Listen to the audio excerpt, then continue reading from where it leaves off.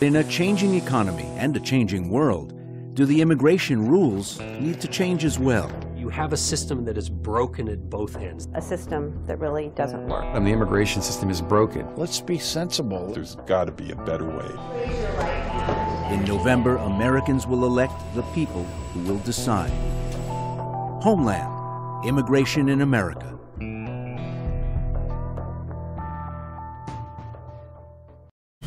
Hello, world, and welcome back to the, another episode of The Benita Show. We are here at the Tivoli Theater with the St. Louis International Film Festival, where we have some awesome filmmakers. And right now, I have Mr. Kirchherr here. He is also from um, KETC Channel 9, our local TV station, and they have a, um, a series on um, PBS, The Homeland.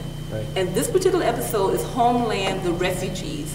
And we're going to talk a little bit about immigration and the problems that some of, um, as we know, the U.S. is the largest melting pot in the world, and you got you all actually talk about some of the problems that immigrants face when they come to the U.S.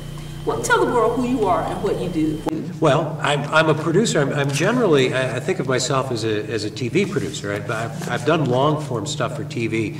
This was really the first project that I was involved in, um, and my fellow producer, Anne Marie Berger. And we brought in Frank Popper, who's a pretty well known uh, filmmaker and editor himself in town. So that collaboration kind of pushed me beyond uh, what we would normally do for television and started thinking about these things more in terms of a national documentary series. The refugee program, that the, the film that now that we're showing at the film festival is actually a reworked version of what ran on PBS. The PBS series was more of a uh, public affairs. There was more policy involved. There were interviews with experts. There was narration. Um, Frank took it upon himself to uh, take that film, take out the narration, take out the, the experts, and just really focus on the stories of the refugees themselves and see the things that they struggled with and really to see their successes and their failures and their challenges. Wow, wow. So, about how many, um, well, you, you would know about, you would know, how many refugees do you actually interview or do you talk about in? We really focus on um, about five, Okay. three to five major stories. Okay. We've added a couple that weren't in the original, um, in the original documentary for this film. And um, we chose them for a number of reasons. One is uh, uh, Justin and a group of um, Congolese refugees. A lot of people know these guys because they're, they're pretty active and they're, and they're charming and they're, and they're successful. And um, we, we also focus on a Burmese woman and her daughter who faces lots and lots of problems um, settling in.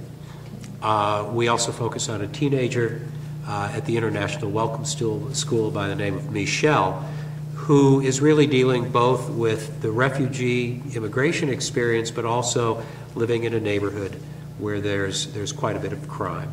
And one of our stories focuses on the shooting of a refugee boy, the murder of the refugee boy in that neighborhood, and how the neighborhood reacts to that. And I think one of the interesting things that we've done in this film, and I haven't really seen it done very much, in part because it's a very difficult story to tell, and that's the relationship between the refugee community, many from Africa, and their neighbors, African Americans, who have a very different experience. And um, there's a sort of tension and distrust between these two communities. And one of the stories that we do follow is Cecilia Nadal, who runs Gitana Productions and does an arts program in a lot of communities, comes into that community. I've community. spoken with Cecilia. Yeah. Uh, Okay, I know her. And after the shooting, she puts together what she calls a peace concert in Amherst Park. Try to bring these two communities together to introduce them. So I think that's one of the, the, the, the most interesting parts of this film. It doesn't answer any questions, doesn't resolve the issues. But I think a lot of people think in terms of the refugees, oh, we've done a wonderful thing. We've let them into this country. But we don't really think about the struggle. We don't know what happens to them. Yeah. You know, the government doesn't even keep track of what happens to them.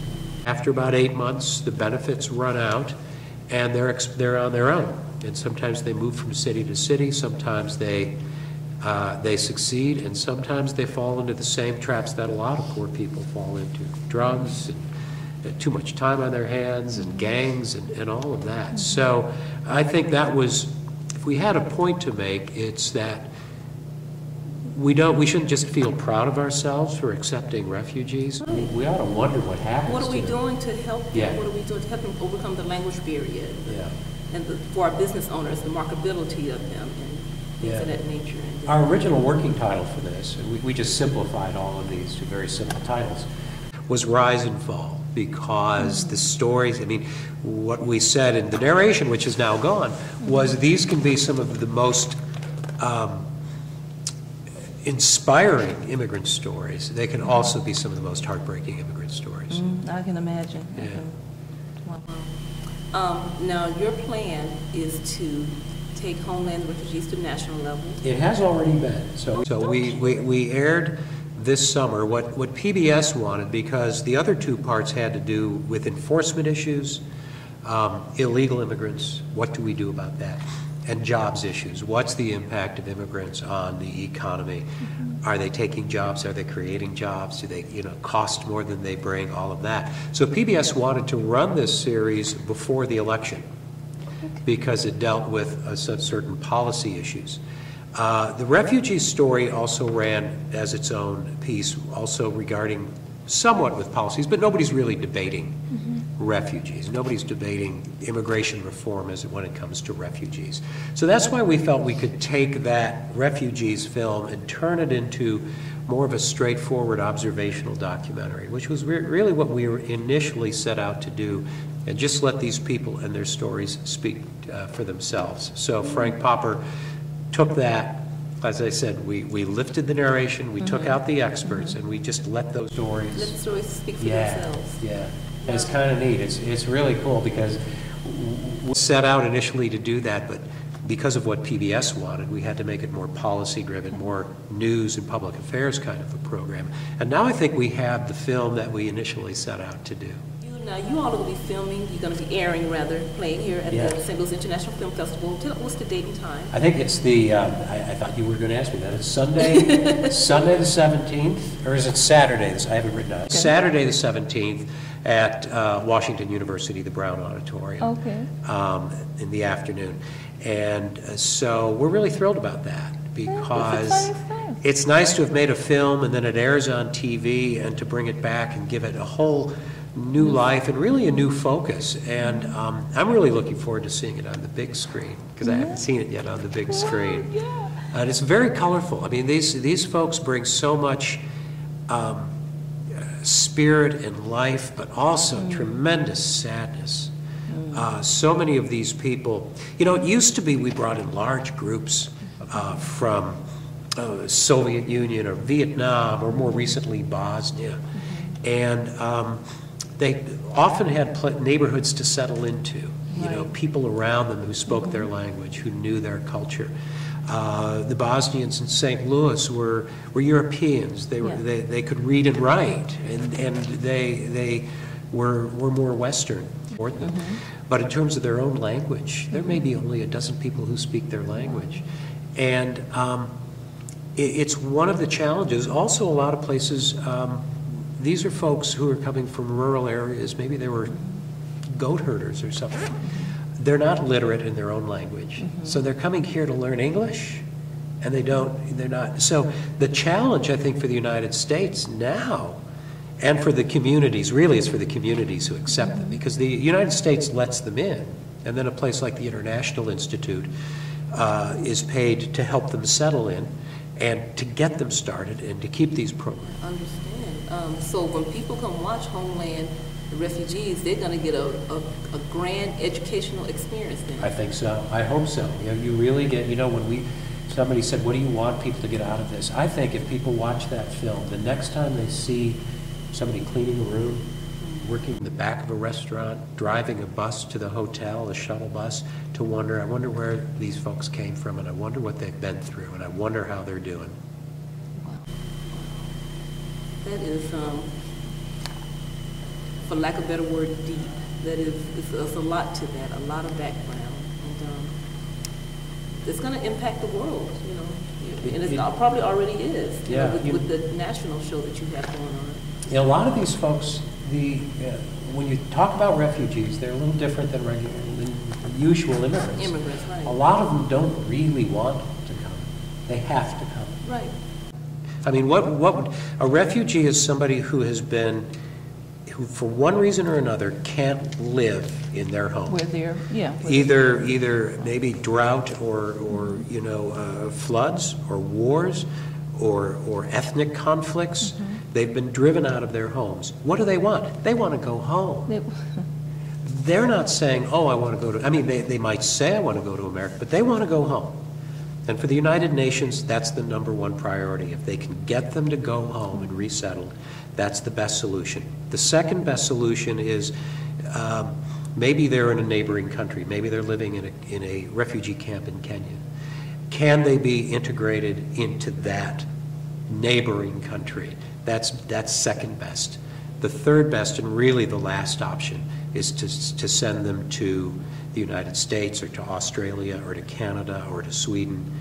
It seems like it's a good idea, but imagine, you can't go home, never go home. And they're giving you a ticket that says you're going to St. Louis. And then you go to a map, if you can, if you even have a map, to find out where that is. Any proposed solution, idea of how we can better help refugees as a nation? What would be a Yeah. solution? I, the, the folks who deal with this, and, and these are usually nonprofit organizations, and they make the point that, um, I don't know how long ago, but we used to give 30, the United States government, federal government, would, would fund 36 months of, of help to help refugees get resettled. Three years. Now it's eight months.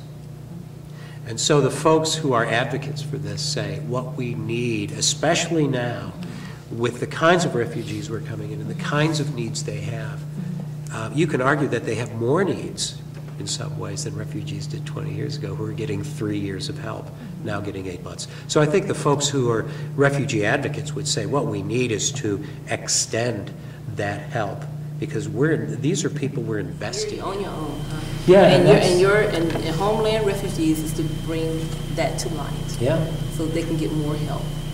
All right, so where can we find your online resources? We have explorehomeland.org, and you can find that on the, uh, the the KETC or Nine Network website, or I think you can just Google explorehomeland.org, and it'll pop up, and uh, we'll have excerpts from, uh, from the shows and and lots of other information. Awesome. Thank you for coming on the Benita Thanks for Show. I look forward to getting the word out about Homeland refugees, and uh, we're gonna say bye to the world. Be sure to tune in to St. Louis International Film Festival. Festival. Go watch Homeland, the refugees.